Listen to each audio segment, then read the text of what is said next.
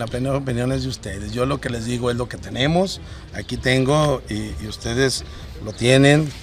La ficha en donde se proyectó este puente es un documento oficial.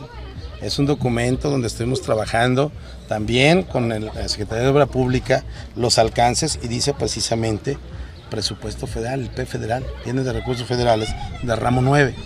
Es lo que yo tengo conocimiento. Es una gestión que hice ante el gobernador. Estuvimos haciendo el proyecto juntos al final del día con la Secretaría de Obra Pública.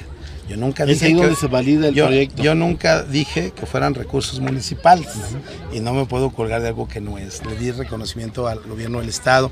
¿El proceso cuál es? El proceso es que por diferentes vías, así como yo fui a solicitar al gobierno federal, así como me senté con el gobernador del estado para pedir recursos, también el gobernador va al Congreso de la Unión a solicitar recursos para Guanajuato. Claro que él también anda tocando puertas. Entonces, de los que yo llevo, de los que él trae, de los que lleva cada alcalde, yo entiendo que él hace un paquete y los empieza a tramitar. Obviamente que hay que hacer mucho trabajo con los diputados federales, con todas las instancias federales para poder etiquetar los recursos.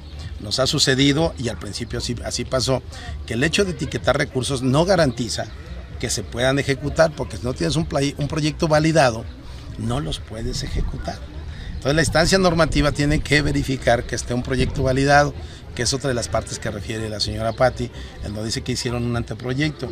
Para empezar, un anteproyecto es una propuesta de, de- de- lo que se va a hacer, pero si no está validado, si no está con todos los requerimientos como es el impacto socioeconómico y demás que demanda el, el poder tener el derecho o la liberación de afectaciones, etcétera, es una serie de requisitos que hay que cumplir. Ahí es donde entró el municipio.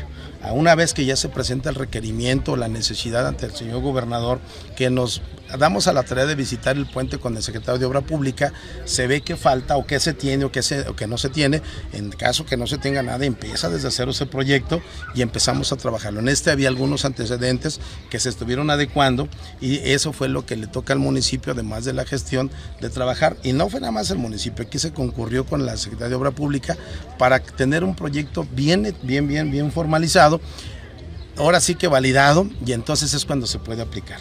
Así sucedió, así lo digo claramente, las situaciones o los sesgos políticos yo no los estoy utilizando, no creo que sea el caso, de hecho les digo, me extraña porque yo tengo un concepto muy, muy, muy bueno de la señora Patti por la labor social que han hecho y esta publicación a mí sí me, me, me causó extrañeza.